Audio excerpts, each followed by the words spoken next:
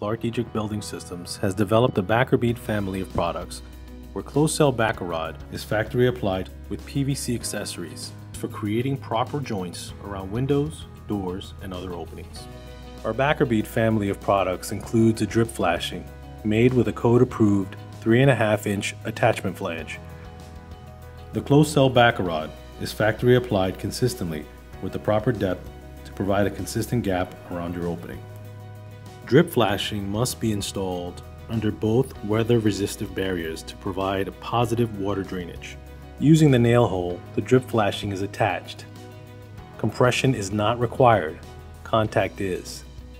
Here the installer is applying the weather resistive barrier, which is cut using the window as a template.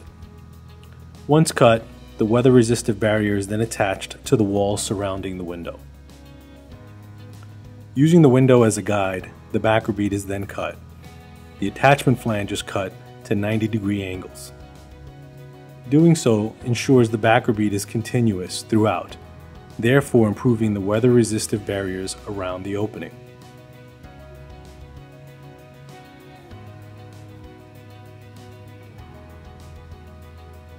A second cut is made at 90 degrees to go around the last angle. If backer bead is too long, snip the PVC so the backer bead can be installed underneath the drip flashing. Once the backer bead is cut completely, it can be attached underneath using the attachment flange.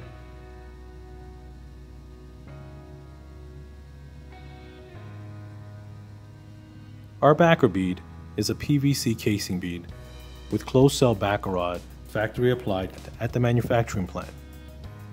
Ink jetted onto each piece are very simple instructions for the installer.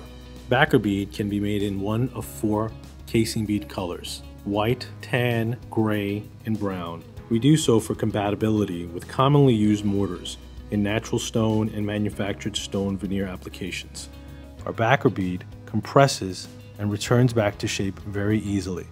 In cases where clear caulk is used, a white backer rod is available upon request.